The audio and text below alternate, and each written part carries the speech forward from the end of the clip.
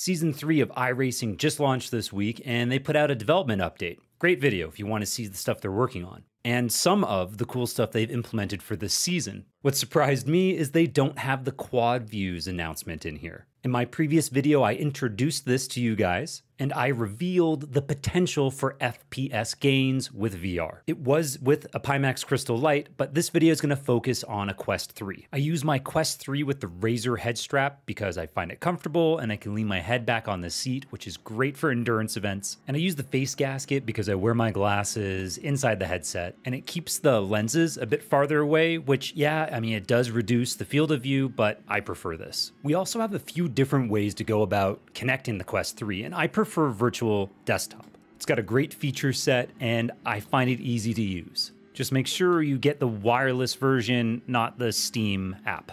As for the official connection method, the Meta app and that stupid link cable and its debris warning have just let me down too many times. Of course, your mileage may vary, but I only run virtual desktop. But the key feature we're looking at today in iRacing is their implementation of fixed foveated rendering. Within your headset, the center of the screens is at a higher pixel count compared to the periphery, where it's reduced. iRacing calls this feature MVP, and it's being performed early in the pipeline, not later, reducing the render workload right at the beginning. iRacing has implemented the NVIDIA proprietary code for this. Radeon need not apply. But in my previous quad view analysis with iRacing, I used a 9800X3D as the CPU so that I could evaluate all the graphics cards. It's the fastest CPU for simulators, so this makes sense. But I did find some early evidence that contradicted this statement, that this new foveated rendering doesn't increase CPU usage. And just to clear up some verbiage, Quad view is the same as fixed foveated rendering in this instance. It requires iRacing in OpenXR mode, and iRacing refers to this feature as MVP, whereas in my previous video I called it MVR, multi-view rendering, which is just a reference to the whole stack that NVIDIA has. So I threw some more processors at this, and here are the results. If we just look at the average FPS and the percentage of time the CPU frame times were delivered on time, Wow, that's too much. Uh, basically, the chart's flat. There is no insight by just looking at this. Instead, let's look at the average milliseconds it takes the CPU to complete its work. While keeping all other settings the same, switching from SPS to MVP increases the CPU frame time. And it doesn't matter if it's the red 9800X 3D, the ye- yellow or gold 7600X, or my two Intel processors. There's a slight bump up. It would be nice to see this value in the simulator, but unfortunately, it's always stuck around 11 milliseconds in iRacing with OpenXR as the renderer. And we'll talk more about this in a second. The reason why we are enabling MVP is so that we can save on GPU frame time, shown here in the bar graphs again. For this testing, I'm using a RTX 5090, so we can push the CPUs to their limits. Even though this graphics card is delivering on time performance, it gets even better with MVP enabled. If you want to get the most out of a fast GPU like the 5090, you should always pair it with the fastest processor you can get your hands on. And a great way to illustrate this are the wet roads of Portimao. But iRacing has confirmed that SSR, the reflections and the puddles, that's disabled when we enable MVP along with SSAO and FSR. But a big benefit is being able to increase MSAA, which is the aliasing, the eternal enemy of all sim racers. But I have only been using MSAA two times, and I'll tell you why a little later. And if I just hit rewind on this benchmark scenario and we compare SPS up top with MVP on the bottom, I can't spot many differences really between these two renders. And as the reflection of the grandstand goes across um, the track here, I think it provides a really good example that with SSR disabled on both uh, SMP or sorry SPS and MVP, so many acronyms. Oh my God, uh, just visually there's no difference. But when we look at performance, there's a big difference. Up first, let's look at the 9800X 3D again with the 5090. This is our histogram distribution of GPU frame times, and in the dark red, we see that MVP has a clear advantage over SPS. And if I add in the GPU frame time bar chart, um, we see this confirmed numerically. You could interpret this as gaining about 10% in GPU headroom because we've dropped by 0.8, uh, 0.6 milliseconds. So now let's look at the 13700K. We've actually lost graphics card performance. We can see in the bar chart that we've slipped about 0.4 milliseconds by going to MVP, and the blue data in the histogram has also slipped closer to our 11.1 millisecond line. That's the 90 hertz timeline. This data does suggest that MVP did produce faster GPU frame times, and we see that towards the 6 millisecond uh, mark, but generally speaking, it is delivering worse performance. And the same thing happened with my other CPUs that I tested, the 12600K and the 7600X.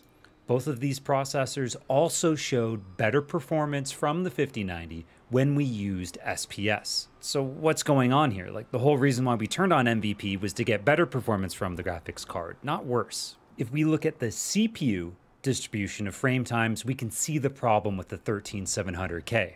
The extra compute burden for quad views is enough to push that processor beyond our 11 millisecond timeline and cause late frames. Even with this great addition to the iRacing engine to integrate FFR, unfortunately, the engine itself, the graphics engine, it's still CPU bound in a lot of scenarios.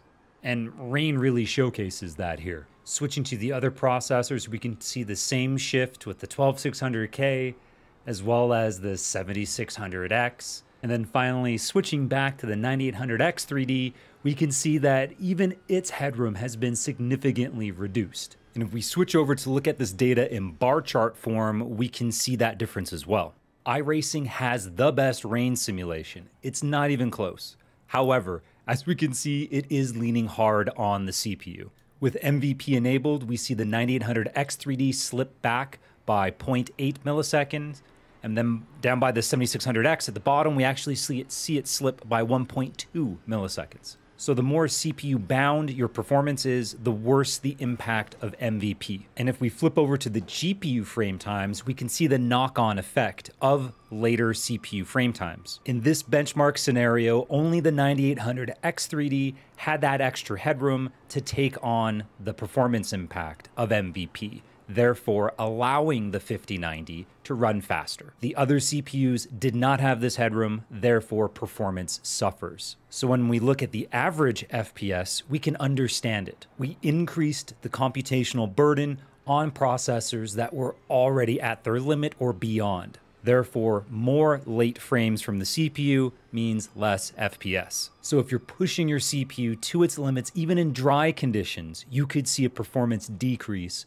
with MVP enabled. So as an example, let's go through a tuning exercise with the 13700K to see if we can decrease the CPU burden. We have iRacing MVP enabled during this, it's not SPS. The first thing I'm gonna change is the number of cars drawn. I've reduced it from draw all cars, and there's about 30 in this replay, down to 16 in front and 4 behind. You can directly edit the cars drawn within the INI file. We see a small performance game, and it would be much bigger, say, if there were 50 cars to draw. During a rain race, the cockpit mirrors are basically useless, so switching to a virtual mirror only saves us performance. Now I can't actually do that in a race in a replay. I just enable one mirror, which is the same load burden as it were. And you might notice in the right hand side that our on time delivery is now 100% but we're not at 90 FPS. And that just represents the data that I have. I don't have the minute granularity to actually see individual frames and those specific stutters. Regardless, just one mirror is way easier for the CPU to process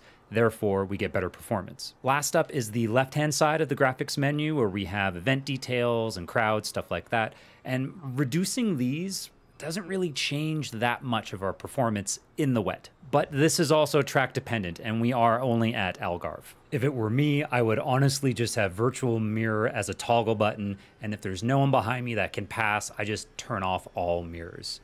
So the next thing I want to talk about, it's more of a philosophical discussion about image quality. So the Quest 3 uses dual LCD screens equipped with pancake lenses. This enables the best feature of the headset, which is edge to edge clarity. With the gasket off, I'll try and like shove my phone in here so that you can see some of this. It's difficult to hold the headset steady and have the camera stay in focus, but the point is you can move your eyes around in the headset when you're driving and have great clarity even to the edges of the lenses and the screens inside the headset. So I think a lot of Quest 3 users are used to having their head pointed at the apex or whatever they're interested in, and then using their eyes to look around at the HUD elements or the dash in their car. And this new rendering technique from iRacing, which they call MVP in the graphics options, this renders your periphery at a lower pixel count. That's where the performance advantage comes from. But it also ruins one of the strengths to the Quest 3, especially because iRacing has not given us access to control the size of the clearest part of the screen or its shape. So if you're used to darting your eyes around the screen, you might be disappointed by this feature, or at least with how it's currently implemented. So how can you evaluate your performance? Virtual Desktop has an easy to read performance overlay. Just press down on both thumbsticks and this pops up. And I'm showing it here as seen through the Quest 3 lens because I don't want uh, the capture of the footage to disrupt the simulator performance.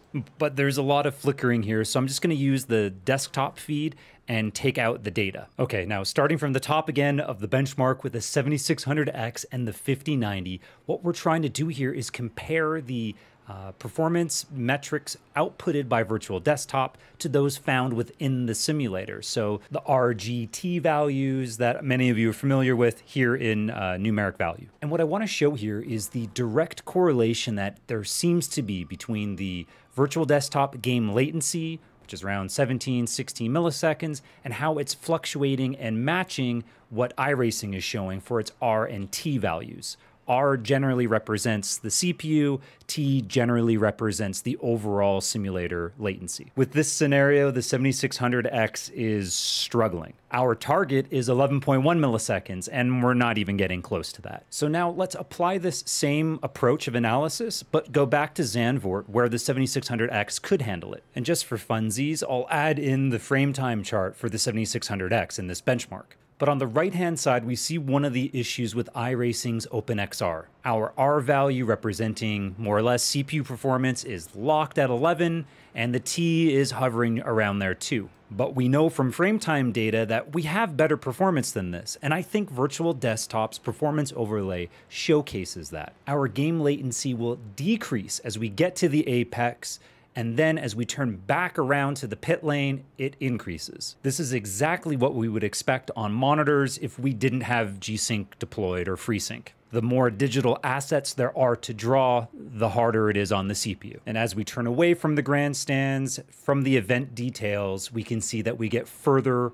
uh, CPU improvement. So this performance overlay is getting us that detail that otherwise is lost with the iRacing overlay. If you use the Meta app, uh, which has the Oculus debug tool, and you can enable that performance overlay. You can get you can get access to similar um, data metrics. Some of you may also notice that I'm using a resolution greater than godlike. And you can see that with the render resolution at 112%. I used the resolution override function within OpenXR Toolkit to pull this off. So if you have the GPU headroom and you want to have an even crisper image within iRacing, you can go about increasing this value or in the debug tool or whatever other tool you need to use. And here's a side by side showing that approach. I, I don't know if the YouTube uh, compression will allow you guys to see the image quality difference, but it's very much apparent inside the headset. For example, the buttons in the cockpit, the dials on and the labels on the wheel, it's just at a greater clarity because we've increased the resolution. And if you've got the GPU uh, headroom, you can just keep increasing the resolution and make it even more clear. And in this example, I was also using the default values for these two settings. This changes the clarity within the middle ring and the outer ring. Max value is 50, that would be the best clarity. Minimum value is 25. You can manually adjust these within your renderer DX11 OpenXR INI file iRacing is about to give us the first patch to season three, so maybe this will end up in the graphics GUI. I don't know. One of the reasons I picked this uh, higher resolution than Godlike is I wanted to compare the Quest 3 directly to a Pimax Crystal Light at the same resolution. Here's the distribution of CPU frame times, and I have week 13 data when we just got MVP as well as data I just captured a few days ago. This testing was done with the RTX 5090 and the 9800X 3D. Now looking at the GPU histogram, we can see again similar performance. However, maybe a slight advantage to the Quest 3. I then threw another graphics card at this, my 4080 Super with 16 gigabytes, and for some reason there's a difference between week 13 performance and week 1. I was going to investigate this further, however, my Pimax headset had a firmware update as well as the software, so this is all old data now anyway. I think I'll have to investigate this topic as like a dedicated video. But these preliminary benchmarks suggest that, yeah, I think we can use the GPU analysis I did with a Pimax and apply that to the Quest 3 as long as the Quest 3 is running the same resolution. And the last thing I want to talk about is actually just more of a warning that if you uh, have your Quest 3 and you enable MVP and it ends up looking like this, this is not normal. There's a problem here do not run another fixed foveated rendering technique on top of iRacing's. iRacing has already reduced the pixels. When you apply another layer, you're saying, hey, make the pixels more pixelated. Don't do that. Another thing to watch out for is if you are changing the field of view and cropping. Maybe you're using the debug tool or virtual desktop or another method. Be careful with this because iRacing is not expecting it. And you might end up smushing your field of view and making it all pixelated. And if there's anyone out there looking to upgrade from a Quest 3, I've got a Pimax Crystal Super in a box. I'm trying to get a first impressions video out in a couple days, and Pimax is also going to be running a discount campaign later this week, so stay tuned to the channel. If you need help with your VR, reach out via email or support my channel below.